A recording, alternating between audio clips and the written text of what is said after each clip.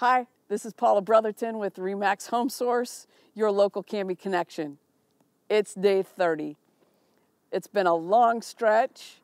I've had a ton of fun doing it. I hope you've enjoyed it as much as I have.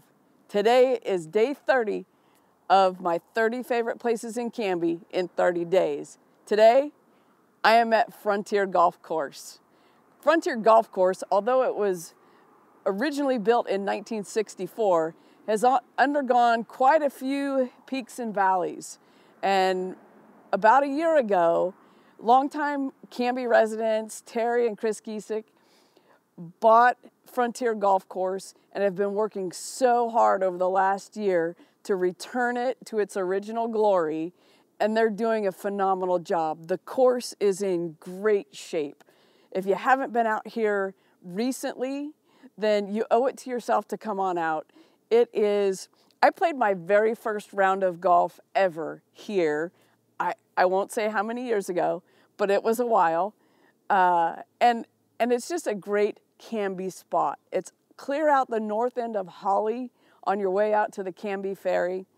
And great family fun, good for people just starting to play. It is a par three, so it's a shorter course. Uh, it'll give you a good chance to work on the irons, and uh, I think we could all use a, some of that every once in a while. But come on out. It's great for group events, parties, things of that nature. Really, really bringing back the, the great condition of the course. Um, so come on out and check it out. You won't find cheaper golf in Canby. I think right now it's like $8 for nine holes of golf, and you just won't find that anywhere in town.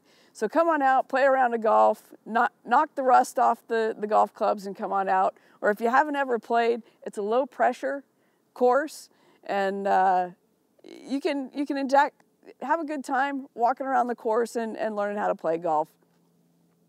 Thanks so much for tuning in for the last 30 days.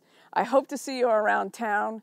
And as always, get out there and participate in all of those things that make Canby a great place to live.